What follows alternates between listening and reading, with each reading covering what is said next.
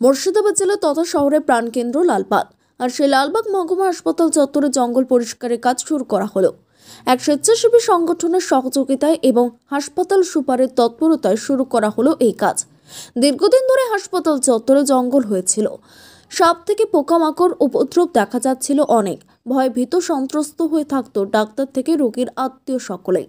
পৌরসভাকে বলেও কোনো কাজ না হওয়ায় স্বেচ্ছাসেবী সংগঠনের সদস্যদের সাহায্যে হাসপাতাল সুপারের তৎপরতা শুরু করা হলো জঙ্গল পরিষ্কারের কাজ। পরবর্তীতে জঙ্গল পরিষ্কারের পর সেখানে ফুলের বাগান বা পার্ক করার পরিকল্পনা রয়েছে বলে জানিয়েছেন সমাজকর্মী রফিক হোসেন। সারিউল ইসলাম ও প্রবীণ মণ্ডলের রিপোর্ট এনটিভি ডব্লিউপি আমাদের লালবাগ মহকুমা হাসপাতাল এবং এখানে প্রচুর পেশেন্টের ভিড়। তারপরে গোটা হাসপাতাল চত্বর জঙ্গলে এমন হয়ে গেছে, আপনারা দেখতেই পাচ্ছেন। সাপের এখানে আড্ডাখানা বলতে পারেন। এইটা আউটডোর আউটডোর বিভাগে অহরহ সাপ ঢুকে যাচ্ছে বিষধর সাপ। ডাক্তারবাবুরা ভয়ে সন্ত্রস্ত হয়ে আছেন। তিনারাও ঠিকমতো আউটডোরে যে বসবেন সে তাতেও ভয় পাচ্ছেন।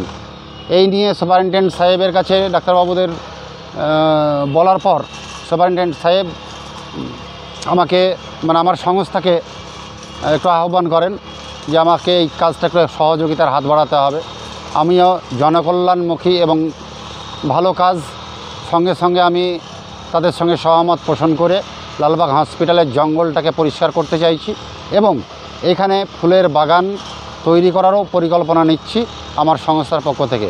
আমার সংস্থা Murshidabad Roshanbag social welfare development society এই এনজিওর পক্ষ থেকে আমরা এই কাজে হাত লাগিয়েছি, জঙ্গল পুরো পরিষ্কার করে দিয়ে ফুলের বাগান তৈরি করে একটা সুস্থ পরিবেশ তৈরি করার প্রচেষ্টা আমরা নিয়েছি।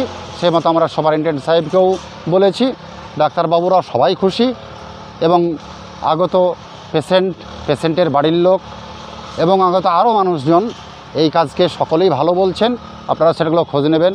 জঙ্গলটা পরিষ্কার করাই এবং মানুষ যাতে সুস্থ পরিষেবা পায় মানুষ যাতে ভয়ে সন্ত্রস্ত না থাকে ভয়ে ভীত না থাকে তার জন্য আমরা সহযোগিতার হাত বাড়িয়ে এই জঙ্গলটাকে পরিষ্কার করার কাজ শুরু করেছি। আমার নাম রফিক হোসেন। আমি Murshidabad Roshanbagh social welfare development society NGO সংক্ষেপে M R S W D সোসাইটির সেক্রেটারি।